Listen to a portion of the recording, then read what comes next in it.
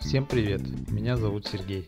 Походка персонажа – это одно из базовых и частых задач аниматора, но иногда хочется облегчить себе работу с помощью какого-нибудь трюка. В этом видео я покажу такой трюк. В этой анимации, которую вы видите, всего два ключа. Такой способ подходит для 2D персонажей, стилизованных персонажей или, например, для роботов. Для этой техники надо поработать с ригом.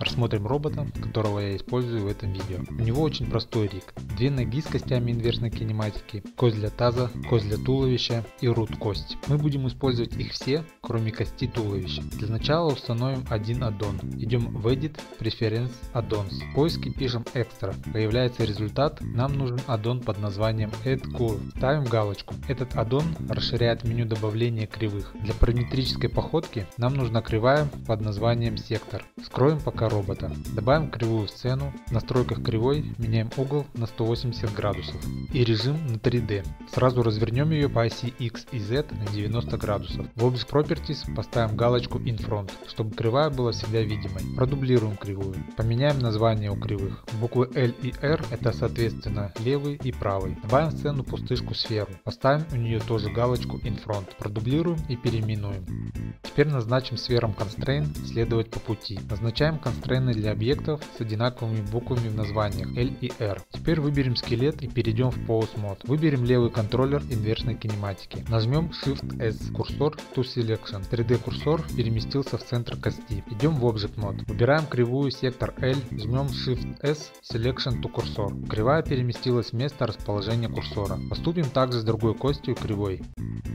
В Object Mode выделим обе кривые и в последнюю очередь скелет. Переходим в режим Pose Mode, выделяем root кость. Жмем Ctrl-P, Bone. Теперь кривые следуют за перемещением root кости. Далее нам надо заставить сферы пустышки следовать вдоль кривой. За это отвечает параметр Offset в Constraint. Нам надо сделать так, чтобы этот параметр изменялся в зависимости от перемещения кости root. Тогда и движение сферы по кривой будут также зависеть от root. Мы это сделаем с помощью драйвера. В этом нет ничего сложного. Жмем правой кнопкой кнопкой мыши на параметре Offset. Выбираем Add Driver. Здесь нам дается некоторая переменная и возможность совершать с ней математические действия. Имя переменной var. Выберем объект, от которого будет зависеть значение переменной. Это root кость. Нам нужно взять значение от ее перемещения по оси Y, потому что по этой оси будет двигаться робот. Выбираем Y Location. То есть теперь, когда Y Location кости root будет изменяться, также будет изменяться параметр Offset у констрейна. Вернем видимость робота. Подвигаем робота и посмотрим, что получилось. Когда мы двигаем робота, сфера перемещается вдоль кривой. Это нам и было нужно. Вернем робота в начальную позицию. Далее выбираем скелет, идем в Pose Mode, выбираем левую ИК кость, то есть кость инверсной кинематики. Идем в Bone Constraint, выбираем Copy Location. В окошке Target выбираем сферу L.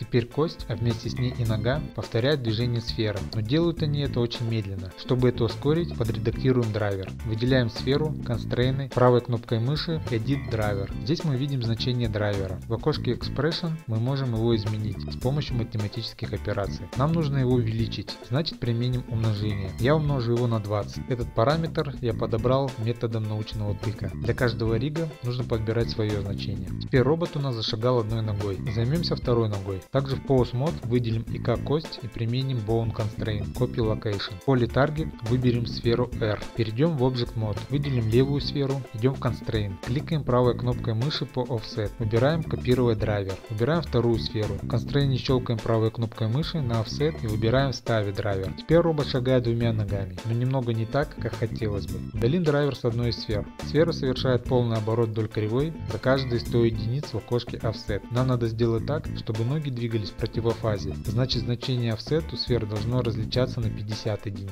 Снова вставим драйвер. Отредактируем его. В окошке Expression добавим плюс 50 или минус. Здесь это не играет значение. Теперь вторая нога движется в противофазе к первой.